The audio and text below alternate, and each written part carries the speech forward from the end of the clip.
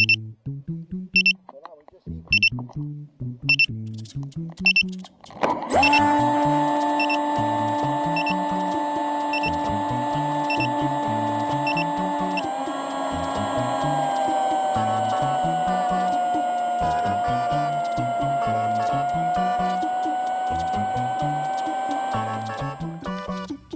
mode, I mean air mode. I want auto launch. I want return to home.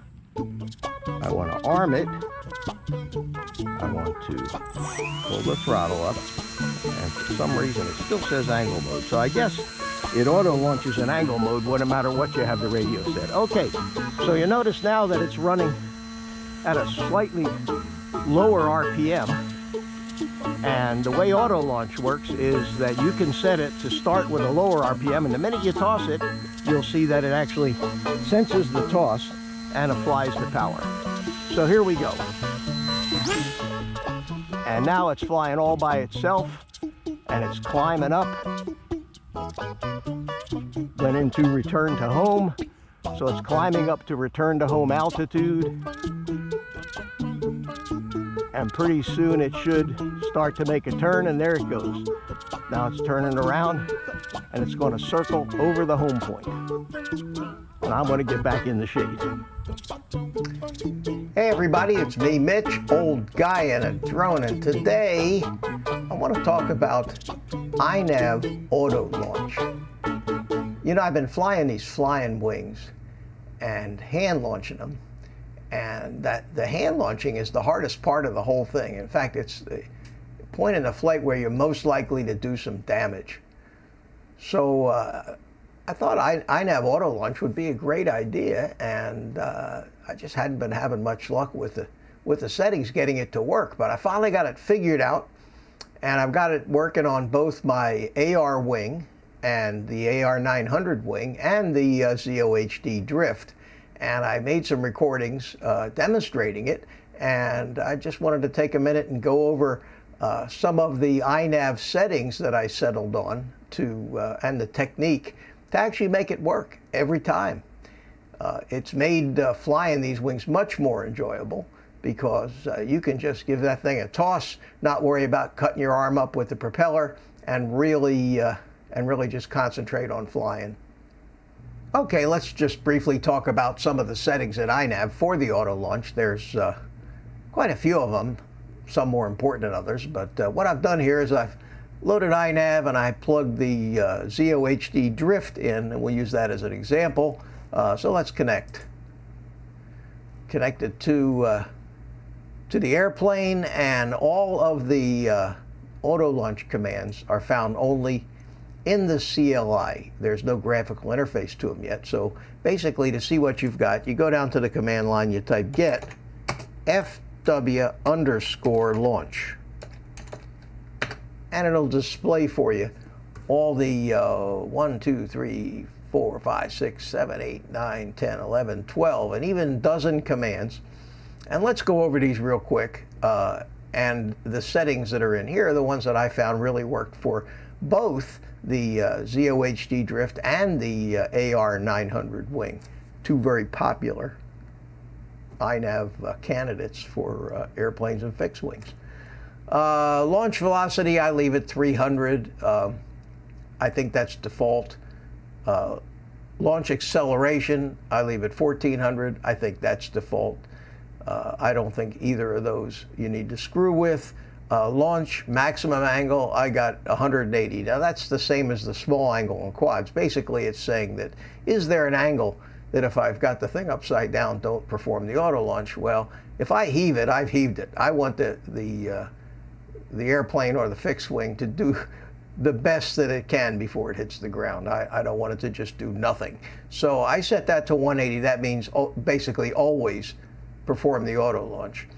Uh, launch detect time in milliseconds is, in this case, is 30 milliseconds, and that's uh, how long it takes once it senses the inertia of the throw to start the auto launch sequence. Keep that. I keep that really short. You want to keep that just long enough for the propellers to clear your hand on a pusher, uh, but not so long as the thing glides into the ground and crashes before the auto launch wakes up and says, time to go.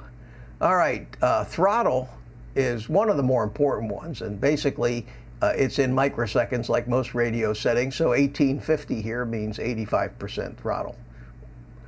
Uh, there's many schools of thought this is all trial and error. You know, you have to figure out for yourself what the best uh, climb out power setting is for whatever you happen to be putting this on. In the case of the AR wing, I found 1850 works just great.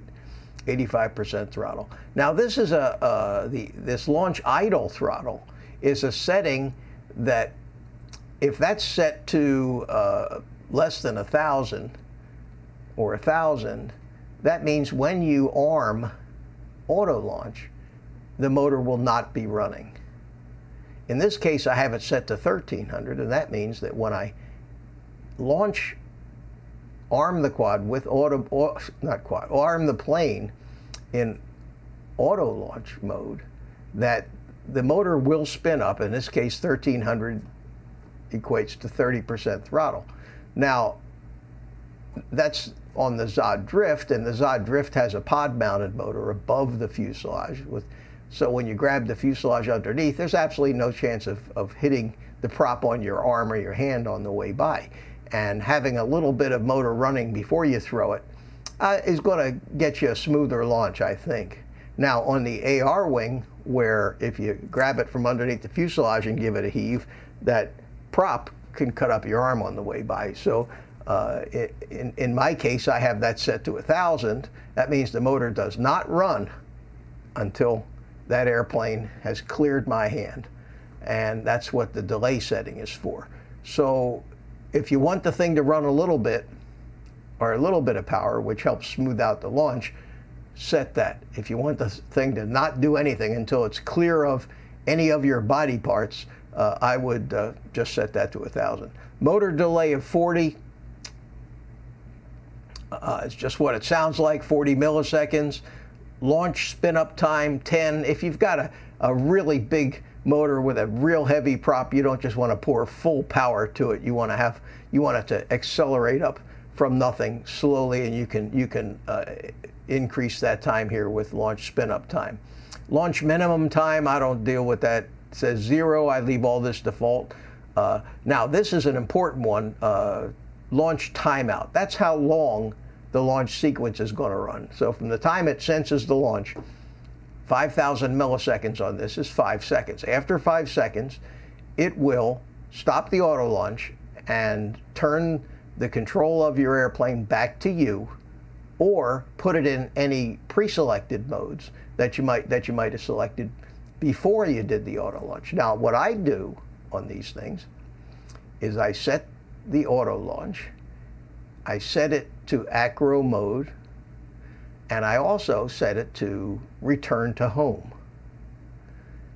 Then, after I launch the airplane, it climbs up for however many seconds this nav launch uh, timeout is, in case five seconds, and then it looks and sees that the return to home is active. So then it immediately goes to return to home altitude and just starts circling around. Now this is great for FPV. You, you, you don't even need to have the transmitter or your goggles with you. You can walk right out to the flight line, take your airplane, make sure that uh, you're in the launch mode and launch mode is armed, give it a heave, don't even take a look. Turn around, go back, get your radio, get your goggles, set everything up, get yourself all adjusted, sit down in an easy chair if you want to. And then when you're ready to fly, you just turn off the re return to home mode and the airplane will stop loitering around home. And uh, it's, it's really terrific and a stress-free way to launch a model. The next uh, maximum altitude I don't deal with, I don't worry about that, but climb angle is important because it depends on your airplane. Uh, on on the, uh, the little drift I use 20 degrees, um, and that seems like a, a pretty good climb angle for most of the things I've tried this on, but the allowed range is 5 to 45. So that's a setting. That's one of the settings that you have to pretty well trial and error on, on your airplane and make sure that uh, the airplane's capable of delivering what it is that you put in. Now, after you've changed any of these things, and I'm hoping by now you know how to change something in the CLI, uh, don't forget to type save, S-A-V-E. Don't forget to type save your changes, and, and you'll know you saved them when the uh, uh, flight controller reboots and takes you back into, uh, into iNav. So that's a summary of the commands. Uh, let's go take a look at some launches. So first thing is set on auto launch. Put it in air mode. Put it in return to home. Arm the quad. Raise the throttle. Give it a little toss. And away it goes. What could be simpler?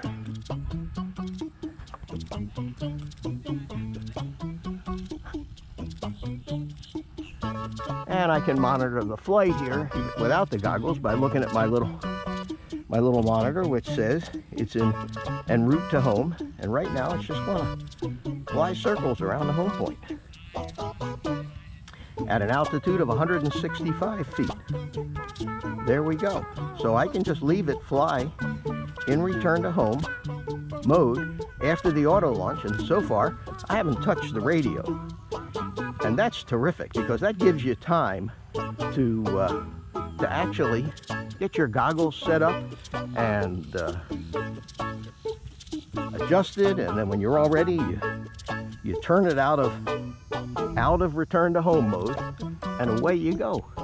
Meanwhile it is holding its altitude very nicely. It's flying about 30 miles an hour and uh, pretty stable.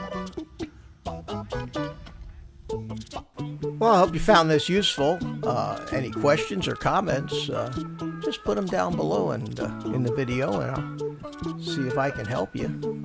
Thanks for watching, and uh, Take the rest of the day off, go play with your airplanes, and have a great day. Till next time.